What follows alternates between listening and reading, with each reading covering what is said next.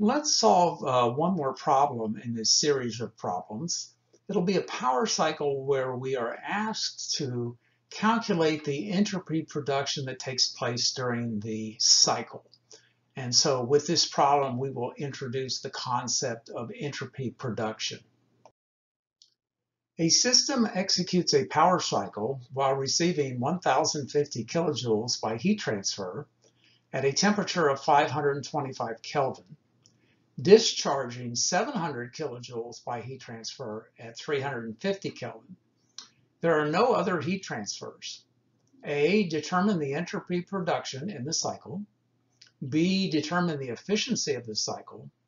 And C, determine the Carnot efficiency of the cycle uh, where the Carnot efficiency is just the maximum theoretical efficiency, which we've calculated in previous problems. And I'll talk about the Carnot cycle momentarily. So here's a schematic of this power cycle.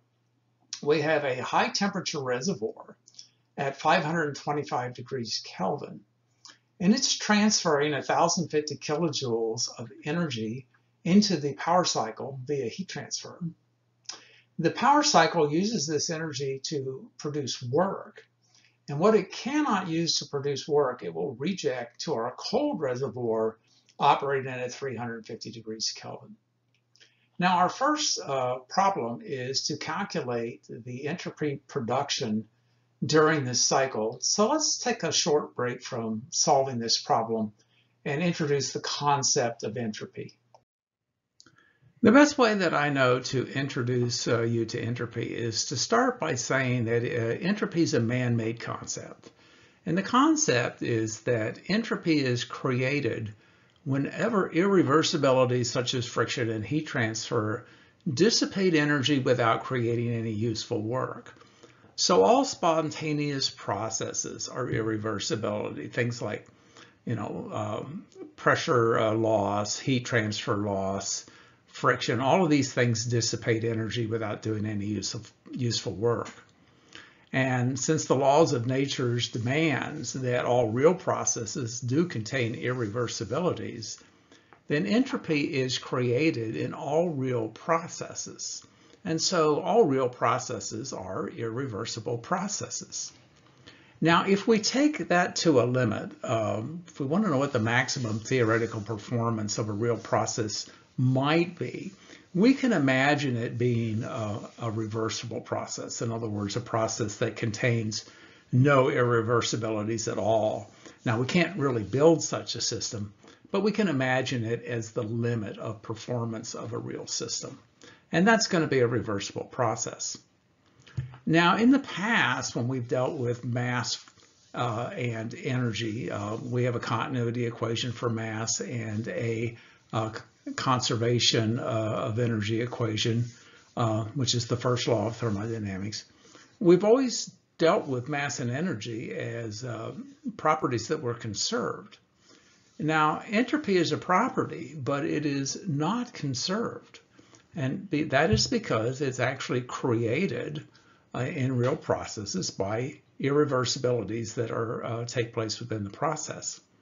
Now, this entropy statement of the second law of thermodynamics is this. It says it is impossible for any system to operate in a way that entropy is destroyed.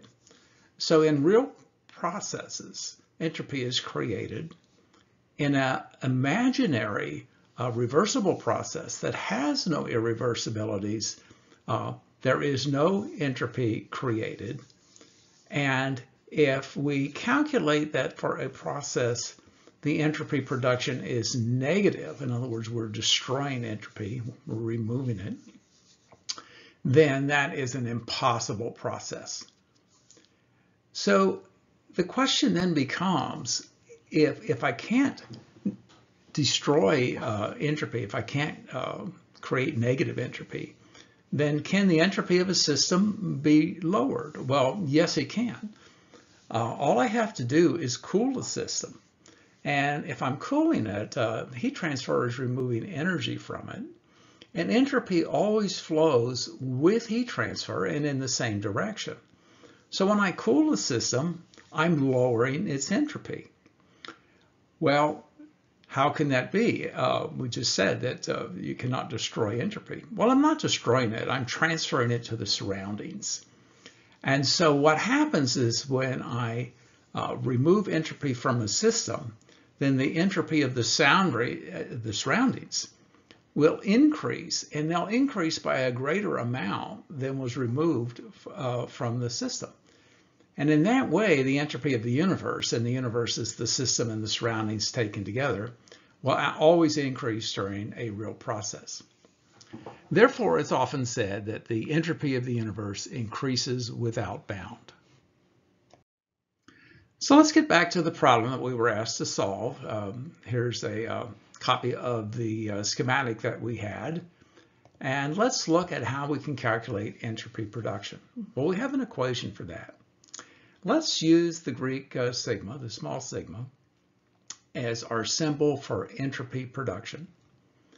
And this equation says that the negative of the entropy production uh, throughout a cycle is equal to the summation around the cycle of the quantity uh, dq over t, where dq is the amount of energy uh, transferred by heat transfer, and t is the temperature at which it is transferred.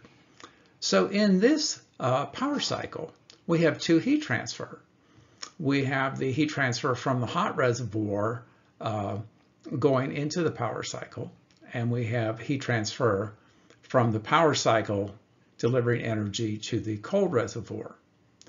So in this particular case, we can say that the negative of the entropy production during this cycle is QH over TH plus QC over Tc because QH takes place at a temperature of 525 degrees and QC takes place at a temperature of 350 degrees.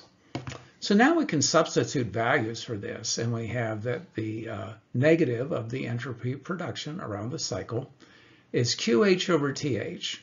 Well, QH is 1050 kilojoules and TH is 525 degrees Kelvin. Now we're going to add to that, since this is a summation, we're going to add QC over TC. Well, QC is 700 kilojoules, but it's removing um, uh, energy from our system. And by our convention, uh, energy transfer, taking energy out of our system is always negative. So in this equation, uh, we're going to add a negative, uh, QC is a negative value and the temperature at which it takes place is Tc, that's 350 Kelvin. So if I do the math here, I get that the negative of entropy production around the cycle is 2 plus a minus 2 having units of kilojoules per degree Kelvin. So entropy has units of energy per degree. And we always use absolute temperature scales. Well, this tells us that the entropy production of this cycle is zero. Well, how can that be? Well, it's simple enough. Uh, if I imagine a uh, reversible cycle, so that if I assume that this uh, imaginary cycle has uh, no irreversibilities in it, then it will not produce any entropy because entropy is created by irreversibilities. So when I conclude that uh, uh, sigma is zero, that is the entropy production of this uh, cyclic process is zero, then I know that I'm dealing with an imaginary reversible process. Let's solve the uh, next step in this problem. We're asked to find the efficiency of the process. So for a power cycle, we know, uh, we've done this many times in the previous problems, that the efficiency is just the work output divided by the uh, energy transferred in by heat transfer from a high temperature source. And an energy balance tells us that work is equal to QH minus QC. Simplifying that, we get the efficiency is just one, 1 minus QC over QH. We have those values and we calculate that the thermal efficiency of this um, power cycle is 0.333.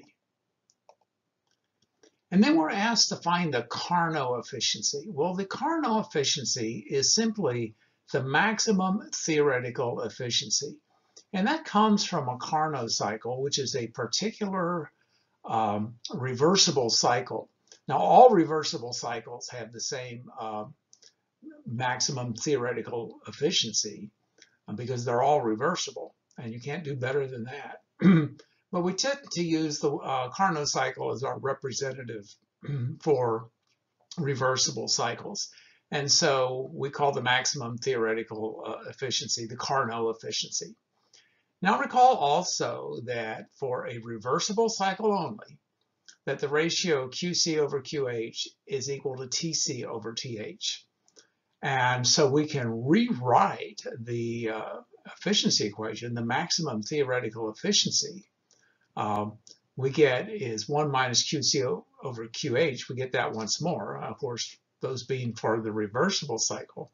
But we can substitute TC over TH for QC over QH, and we get the maximum theoretical or the Carnot efficiency is 1 minus 350K over 525K. And we calculate that the maximum theoretical uh, efficiency is 0.333. Well, it should be no surprise that that's the same as the um, what we're calling the actual efficiency of this process. And that's because this process is a reversible process. Well, let me make some comments on this problem just to clarify uh, a few more minor points. Um, we know this system is reversible because there was no entropy production within the system. And recall also that we defined the system as the power cycle. The system did not include the high and low temperature thermal reservoirs. Those were part of the surroundings. Remember, anything that's not in the system is part of uh, the surroundings. But we also know that heat transfer is an irreversibility. And how can we have an irreversibility in a reversible system? Well, we can't. This irreversibility, the heat transfer, takes place in the surroundings. It takes place outside of our system.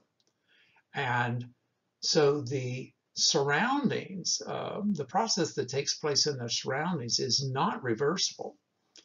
And it is the system that undergoes the reversible process, not the surroundings. And that's why we're going to call this uh, situation here. We'll say that this process is internally reversible. That means it's reversible inside the system, but not in the surroundings. And finally, uh, let's conclude by trying to capture an idea about what entropy is. Entropy is created by irreversibilities, and you can think of entropy as it's some kind of measure of energy that's no longer available to do work because irreversibilities dissipate energy without performing any useful work.